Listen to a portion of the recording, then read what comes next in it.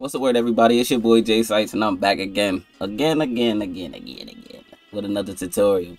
And look, today I'm about to show y'all how we uh track elements from Element 3D. You know, 3D objects, anything you really want to put into music video in the scene. Once you have your footage in After Effects, we're gonna rotoscope our subject out, even if we don't need to. So I'm gonna take the time out to do that real quick. So let's say you get this error right here, guys. Let me show you how you beat this. I feel like I need to put this out there. So here's how you beat this. You pre-compose this clip and you leave all attributes, right? Once you do that, you come right here, you copy the left. You go into the comp, right? And in the composition, you don't want to move this point because if you move this point, you're gonna basically lose where you are in your last composition. So make sure you at the starting, you right, I mean you double click, go back into the pre-comp, you cut, you go back to the to the um to the first composition, press page down to make sure you at the very last frame, go back into the pre-comp one more time, and then you cut that part right there as well. Delete and delete. The reason why you do not trim this is because it's gonna change the um the duration of the actual clip that's in here. So you just wanna, you know, in and out, which you can just press B and N. In my case, I'm just gonna drag. and then you're gonna and then you're ready to rotoscope. So you need to turn up how much footage you got going on right now. Now I'm gonna, I'll be right back when I'm done with this rotoscope.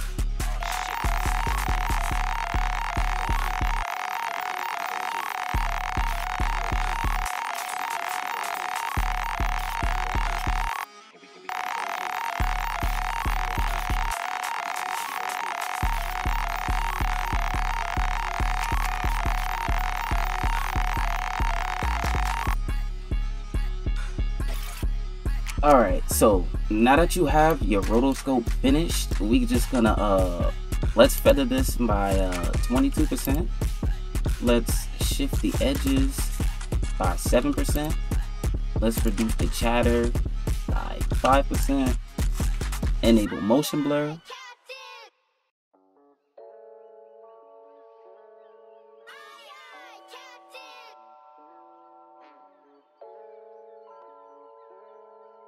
Okay, so look, I had a little technical difficulty because I forgot when I did this video, instead of pre-comping it, I rendered it out.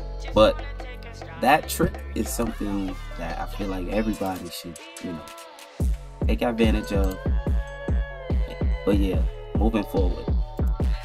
Once you have that rotoscope, you want to rename that to your uh, subject. Maybe change the color personalize it and we're just going to turn that off now. Next up, let's track our scene. So come to track and stabilize after right clicking and hit track. Alright, cool. So now that you got some track points here, it's funny because it looks exactly how it looked like in the regular project. Alright. You want to find somewhere where you see the where you want to where you see points the most. So right now I'm looking and I'm looking at this red and this blue point. They here the whole time. So I'm gonna just connect these with the rest of the points that's gonna pop up. So we just gonna make a big ass circle, right? And then we're gonna right click and we're gonna make a null. We're gonna click that null to see if that null stays. I don't know. It's getting too big. Let's take another spot. Make a null right there. Make sure that null is always visible, you know what I'm saying? You have it right there. So now we can cut this null off, right? Let's make a brand new solid. Let's apply element 3D. And I'm gonna give y'all some settings to use just in uh, just in case, you know, I'm gonna give you guys some cool settings. So you wanna come to your custom layers and you wanna use your overall footage, which is who that on that block, who that on that ice. You wanna use your regular footage and you wanna come down to the render settings, deal with the lighting. This is a dark scene, so I'm gonna go with dark. I don't know. Depending on how that looks, I'm gonna change it. Enable shadowing, ray traced, ambient occlusion, and put on ray traced. And we're gonna change that to like 0.6. Now in our scene setup, I'm just gonna go with the same exact model that I used for this video, and let's just grab that leg, OBJ, OBJ. I'm gonna use the normals, press OK, normalize the size. I'll just leave this like it is. I will just come to environment, hit that drop down, use our footage, and press OK. Boom. So now you got that thing up in there. Not too snazzy, man. That leg looking look gory.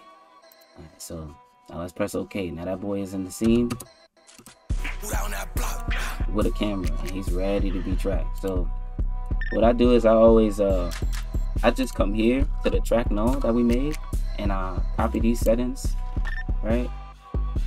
Into the the group one layer that's over here, particle replicator.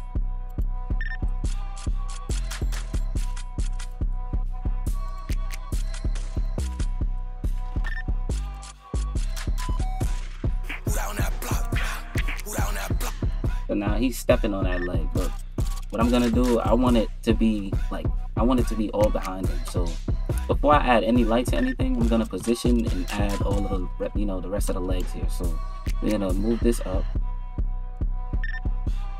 change our uh, particle shape, right? Let's get this out of the way. This is like, we're gonna make the particle shape into a sphere, and we're gonna have about uh 12 legs up in that sphere, right? Let's come down to shape scale. And we're gonna enlarge that. X scale. Z scale. Y scale. Until everything is kind of surrounding your subject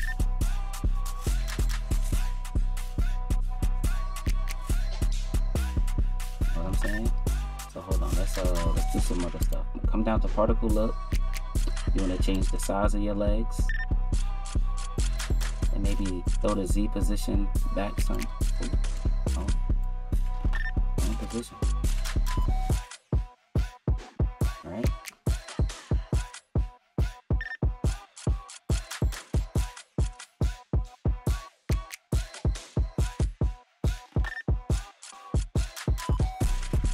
Now this is where the cool shit happens. This is where the rotoscope comes in, comes in, you know, comes inside. We take that rotoscope and we just, you know, throw that above there real quick. So now, hold on, I ain't gonna lie, I'm not liking how, uh, I'm not liking how that one looks behind him. So we just probably gonna add like, uh, if you come to the replicator, you probably add, maybe take away 11 of them Johns. Boom. Now, now that one is gone, and it's like, all right, he's going through a whole little, you know, thing of legs. Okay, so now let's turn that uh that top layer off for now. Just so we don't you know get no crashes. I don't want to give you guys any crashes. And we're gonna make a new light. So hit control alt shift and L. A new spotlight. Something cool like that. We're gonna bring it up. Bring it back.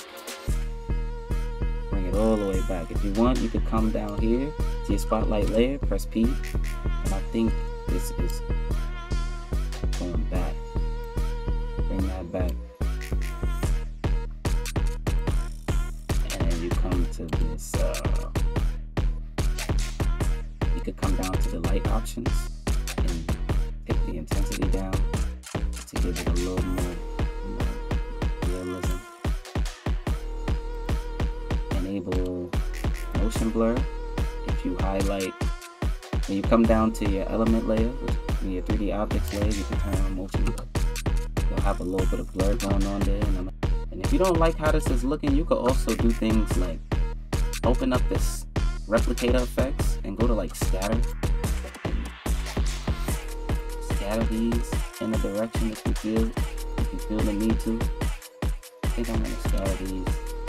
Maybe by the Y and now we could do things like uh, come down to your particle rotation.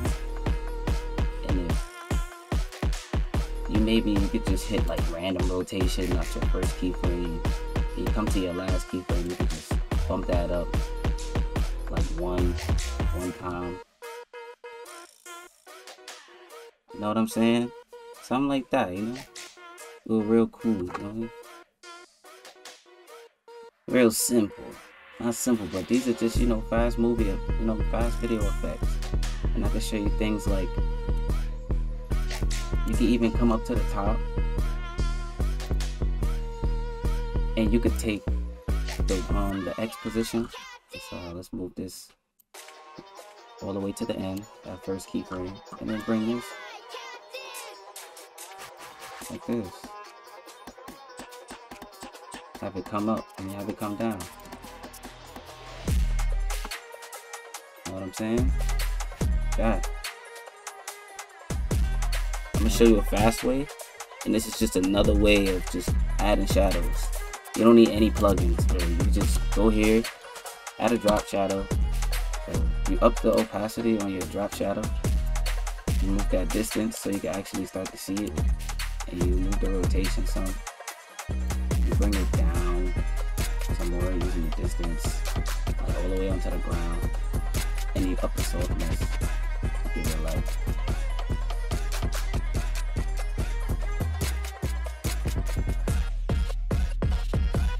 and I don't even like to have this up too high because it already looks a little too, you know.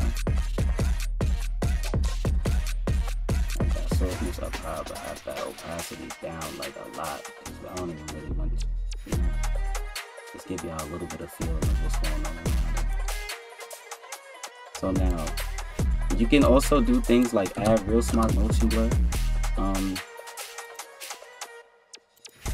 if you want to move your camera, I don't think you can, but there's an easy way that I do it. You can grab an adjustment layer and you can add a transform effect. And when you do that, you uh, you put a stopwatch at your position and you're scaling up here,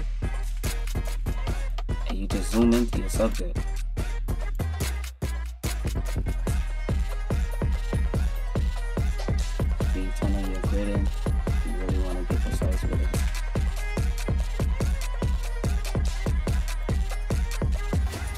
You got flow, you could just come up here, use this, or if you know how to use the, the waveform, the grapher, good, you know what I'm saying?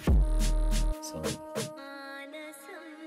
another thing you can do to add some realism to the objects in the back, if you add maybe a fast box blur, you can kind of match the, the blur that's going on in actual background.